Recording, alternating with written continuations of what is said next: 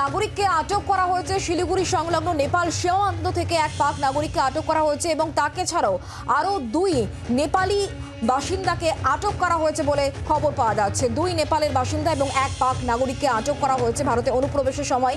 BSF তাদেরকে আটক করে বলে খবর পাওয়া যাচ্ছে। শিলিগুড়ি সংলগ্ন নেপাল সীমান্তে আটক পাক নাগরিক। এছাড়াও আরও দুই নেপালের নাগরিককেও আটক করা হয়েছে বলে খবর পাওয়া যাচ্ছে।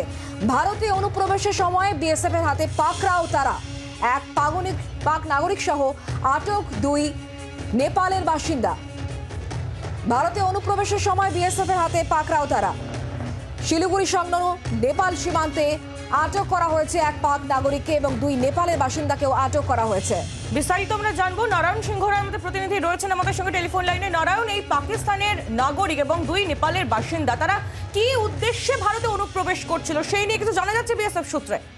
দেখো বিএসএফ সূত্রে যেটা খবর যে পাকিস্তানি এবং এই যে দুজন নেপালের বাসিন্দা, তাদের আজ সকালবেলা ইন্দো নেপাল সীমান্তে নতুন ফ্লাইওভারের কাছে তাদের আটক করে, জিজ্ঞাসাবাদ করে যতটুকু জানা গেছে, তারা নাকি নেপালের থেকে তাদের একটি গাড়ি করে যাচ্ছিল। সেখানে গাড়িটি খারাপ হওয়াতে তারা ইন্ডিয়াতে ঢুকেছিল, অর্থাৎ ইন্দো নেপাল সীমান্ত দিয়ে মেচি ব্রিজ দিয়ে ঢুকেছিল। ইন্ডিয়াতে তাদের গাড়িটা সারাই করে আবার চলে যাবে।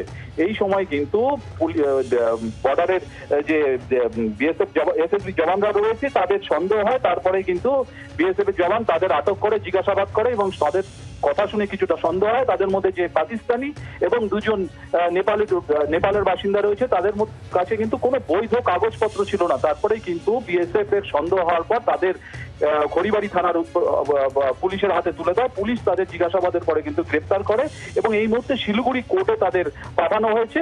যতটুকু জানা গেছে, সাত দিনের রিমান্ডে নেওয়া হবে তাদের জিজ্ঞাসাবাদের জন্য। নারায়ণ, ধন্যবাদ। নারায়ণ সিংহ আমাদের প্রতিনিধি ছিলেন আমাদের সঙ্গে। বাংলার আওয়াজ, বাঙালির আবেগ। জি, চব্বিশ ঘণ্টা।